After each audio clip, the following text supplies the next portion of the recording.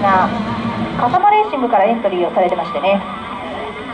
普通のサラリーマンレーサーなので時間も予算も限られていますが楽しくレースを続けています。という自己 PR を書いてくださって。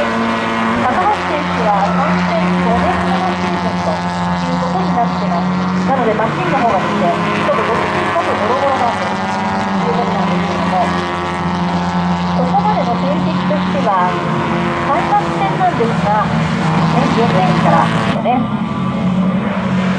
えー、3月の第1戦から初戦の練習走行にいらっしゃってで今日本番という変則日程でお仕事の都合なんでしょうかね、えー、来てくださっているということですすぐに思いますね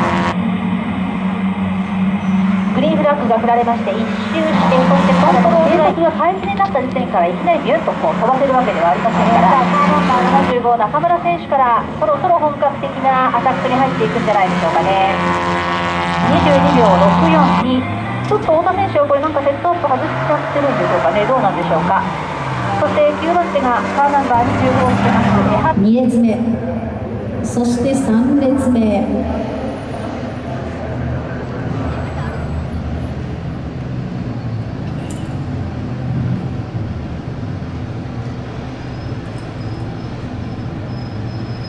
方法はどうか？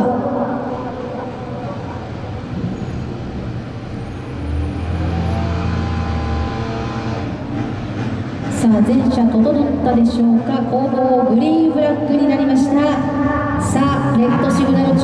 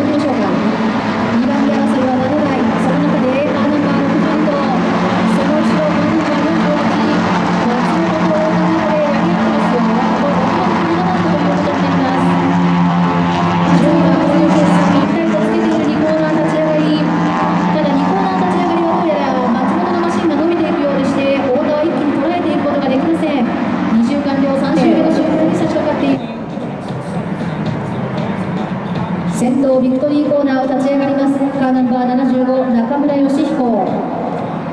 中村選手はこれで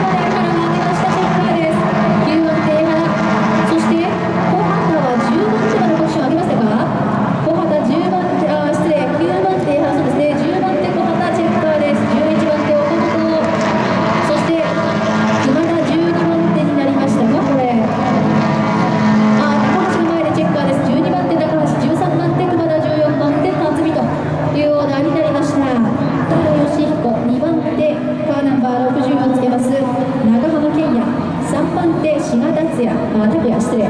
トップ3表彰内賞です。4番手松尾5番手松本6番手横田7番手太田。8番手相原9番手江原。10番手小畑。11番手岡本。12番手高橋。13番手熊田。14番手辰巳というオーダーで決勝レースを終えました。さあこれによりましてポイントランキングというところでちょっと見ていこうと思うんですけど。